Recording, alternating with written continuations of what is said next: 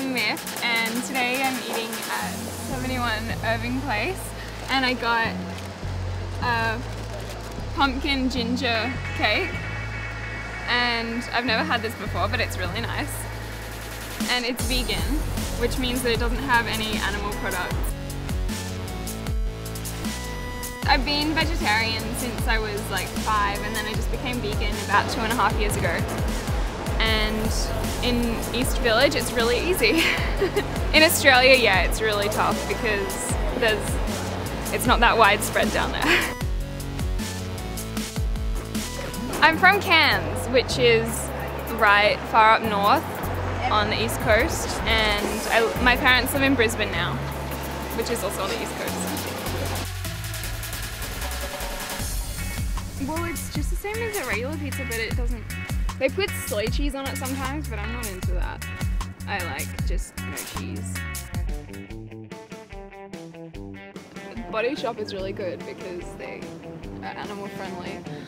So it's easy to just buy stuff from there.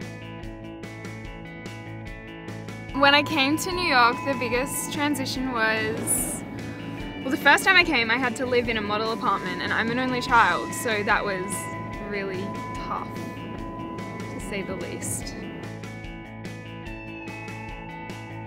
In Brisbane, there was a booker from Sydney just on holiday up there and she saw me at some markets and asked me to come down to Sydney. So I did the Australian Fashion Week and then that went well so they sent me to New York. I don't really have goals, I just like to be successful. There's not like I'm saying, oh, I have to get a French Vogue cover by the time I'm 19. I just take it as it comes. I love Gemma Ward, but that's probably just because she's Australian. I think all Australians love her.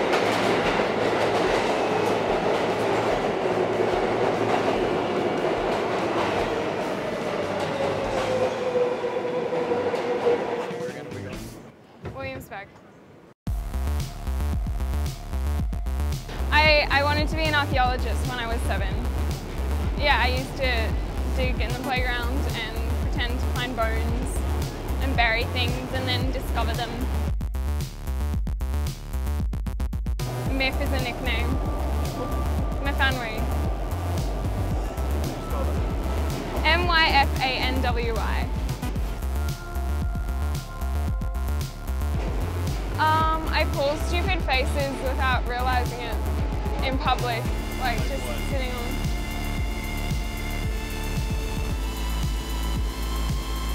No, I never stick my tongue out without realising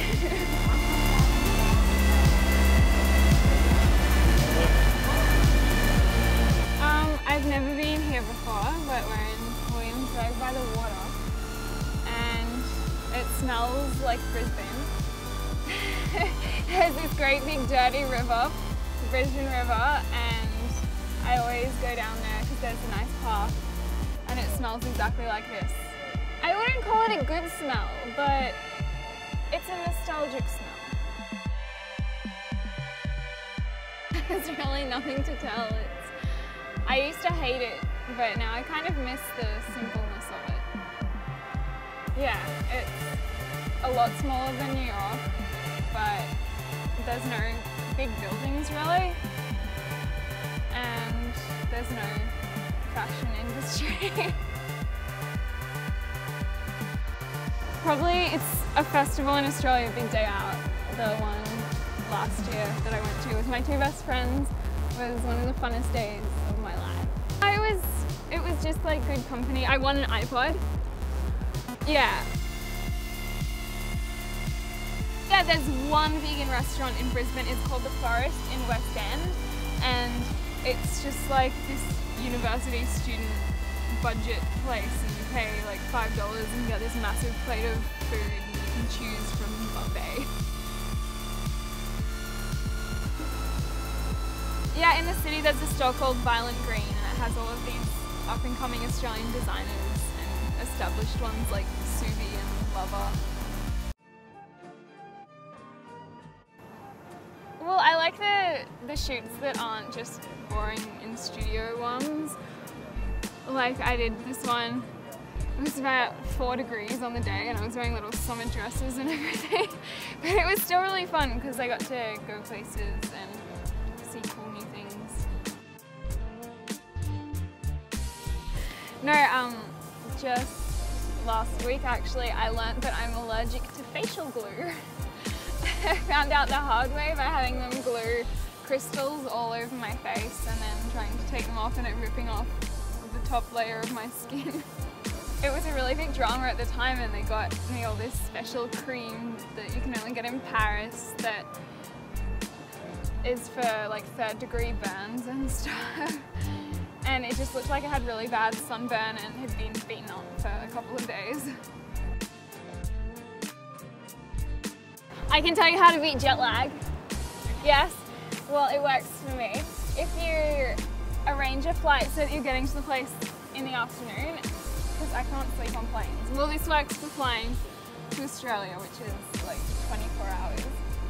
Um, but if you arrange it so that you're getting there in the afternoon, and then you just go straight to sleep and sleep for like 16 hours, and you wake up the next morning and you're fine. If I take sleeping pills on the plane, I get really agitated because they don't make me sleep. They just make crazy, and I'm like, aren't I sleeping? I've taken sleeping pills. Yeah. I have my computer. I have a map of New York, which I don't even need, but I take it just in case. A book, 1984, because like when I was in high school, I didn't have time to read the books that I wanted to read, so I wanted to read this one for a really long time, and now I finally can. And a scratchy, which tells me that I've won a cash prize and another top treat. But yeah, I don't know which one I won. Um, ah, my Game Boy Color with Pokemon Silver game and no battery cover and a little smiley face sticker because I'm happy. Yeah. yeah. Oh, some dorky big headphones because I lost my real headphones. This is what I like when I walk down the street. And this is my iPod. the number one most played song is Close to Me by The Cure. And then there's like 10 songs by The Strokes and other ones by The Cure and The Smiths, um, Pixies. So I just never bothered to venture outside of my parents' musical tastes. I did. I do have um, the Britney Spears CD with her on the cup. I think it was her second one, and she's like walking through a beaded curtain.